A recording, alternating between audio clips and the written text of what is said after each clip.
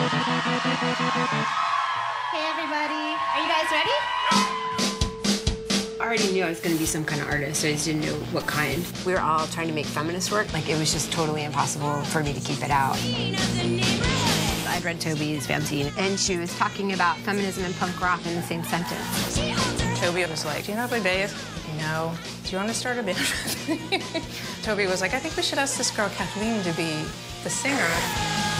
It was making music a voice for a lot of people that hadn't been heard before. Right when Bikini Kill started, right when grunge was like going off the hook, right when Nirvana was exploding, it was a wild scene. Our friend Jen Smith said, you know what we need? We need a girl riot. We just tried to take feminist stuff and then filter it through a punk rock lens. Feminism had been kind of scared of pop culture music. It was really good at protesting it and not good at making it.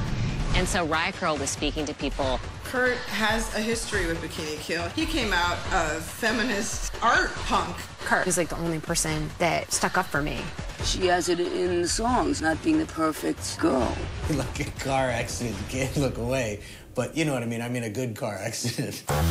She would get letters from guys that were like, you need to die. My identity was so wrapped up in my bands that it wasn't really healthy. In the last few years, like why she hasn't been doing more. That's the nature of being a hero, is you don't need help, you're the helper. It was just so much easier on everybody if I just faced what was happening and dealt with it.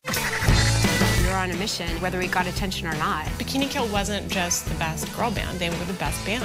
I sat down and said, I can't do this anymore. I realized it was affecting the people that I love. It's overwhelming. I was really worried. There's this whole fear someone's gonna say, I don't think so. Other people can think whatever they want, but they should have to stay out of my way.